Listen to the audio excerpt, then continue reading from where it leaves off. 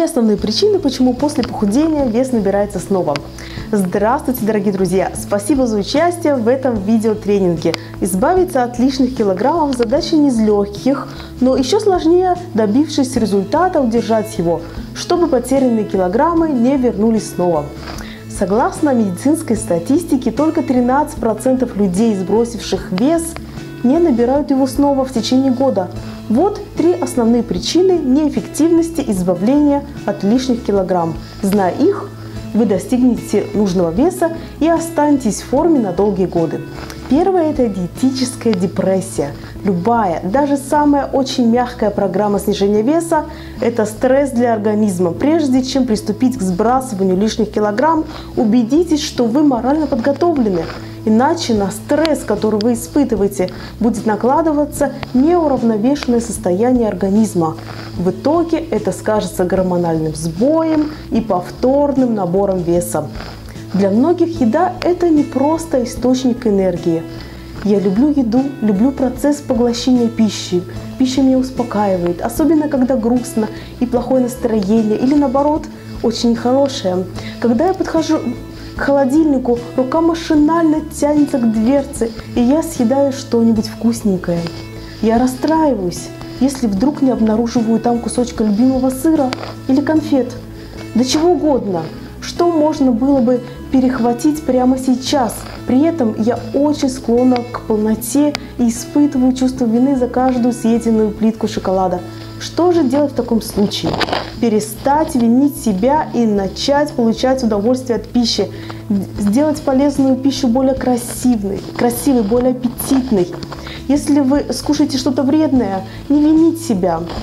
Ведь у здорового организма есть все ресурсы избавиться от ненужных токсинов и не накапливать жиры. Избавиться от диетической депрессии вы сможете, изменив привычку пищевого поведения и перестроив организм на биологические часы.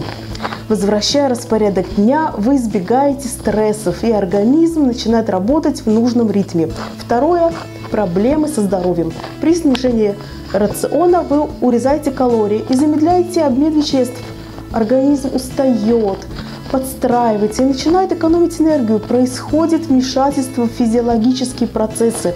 Многие, стремясь похудеть, начинают урезать рацион. Логично, но при этом забывают подумать о том, как же реагирует организм на изменения.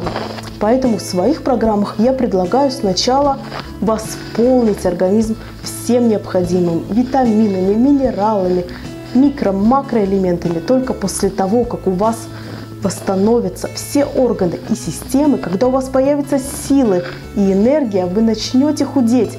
Этот этап называется подготовка. И пропустить его все равно, что просто так начать мучить себя. Ведь вес возвращается вместе с проблемами со здоровьем.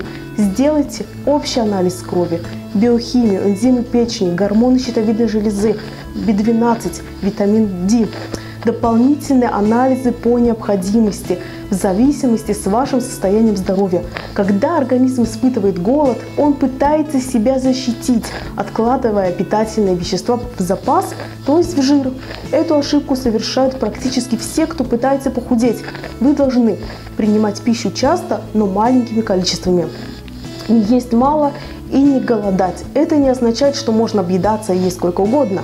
Пища должна содержать не только необходимые белки, жиры, углеводы. В рационе должны присутствовать необходимые вам витамины и минералы. Кроме того, они должны усваиваться. Поэтому, когда я составляю рацион питания, то учитываю физиологические особенности вашего организма.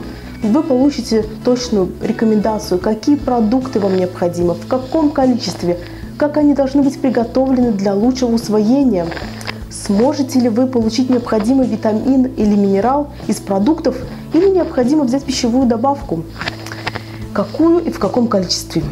Третье – это эффект йо-йо, при котором вес снижается и набирается снова. Каждый раз, когда идет повторный набор веса, жировые клетки увеличиваются в объеме и начинают делиться увеличивается их количество, поэтому в следующие разы сбросить и удержать вес становится все сложнее и сложнее.